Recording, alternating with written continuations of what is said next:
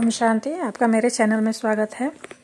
आइए आज हम बनाते हैं कृष्ण जन्माष्टमी स्पेशल धनिया पंजरी और पंचामृत की रेसिपी आज मैं आपके साथ शेयर कर रही हूँ। यहाँ पे मैंने कटोरी का माप लिया है। आधा कटोरी मैंने धनिया को साफ़ करके ले लिया है। उसको धो के सुखा ली हूँ।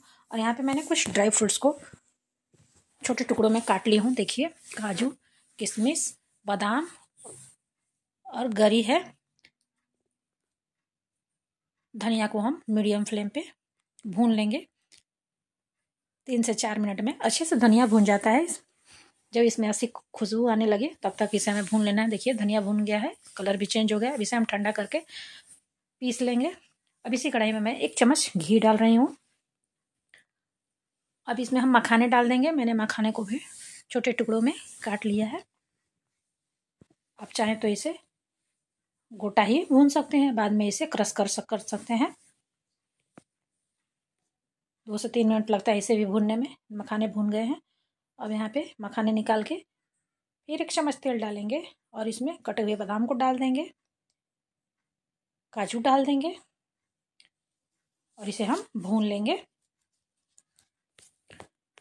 अब यहाँ पर मैं थोड़े से मगज का इस्तेमाल कर रही हूँ। आप इसमें चिरौंजी भी डाल सकते हैं। इसे भी भून लेंगे। जब ये भून जाए तो इसमें हम कद्दू किया हुआ नारियल डाल देंगे। भूनने के बाद उसमें फिर किशमिश मिला देंगे। इसे भी हम भून लेंगे दो मिनट।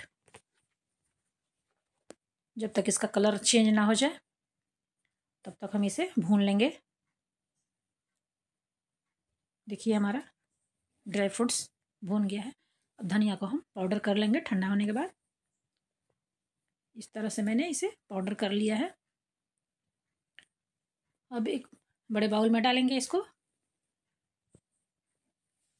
उसके बाद भुने हुए ड्राई फ्रूट्स को डाल देंगे। चीनी का पाउडर डाल देंगे। मैंने आधा कटोरी चीनी का पाउडर लिया है। चीनी को मैंने पीस लिया था। इसे मिक्स करेंगे अच्छे से। और ये हमारा धनिया पंजीरी। भोग के लिए तैयार हो गया। इसे एक बार आप ज़रूर ट्राई करें और भोग लगाएँ भगवान को। अब इस पंचामृत बना लेते हैं। यहाँ पे मैं आधा कटोरी दही, दूध, एक चम्मच घी, एक चम्मच मध और चार चम्मच चीनी का इस्तेमाल किया है। चीनी को मैंने पिघला दिया है। अब बाउल में दूध डालेंगे। चीनी डालेंगे, इसे अच्छे से मिक्स करेंगे। चीनी पिघलने तक। पंचामृत की क्वांटिटी हम अपने ज़रूरत के अनुसार कम ज़्यादा कर सकते हैं। अब इसमें एक चम्मच घी डाल देंगे। मध डाल देंगे, हनी मिला देंगे। दही मिला देंगे। और इसे हमें अच्छे से मिक्स करना है। आप चाहे तो इसे विस्कर से भी मिक्स कर सकते हैं। और ये हमारा पंचामृत भी तैयार हो गया है।